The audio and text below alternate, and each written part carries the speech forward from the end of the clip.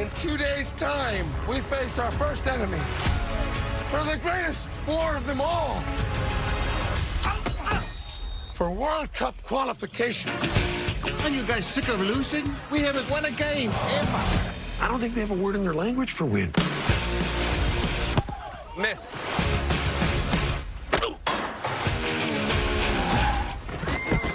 Next goal wins.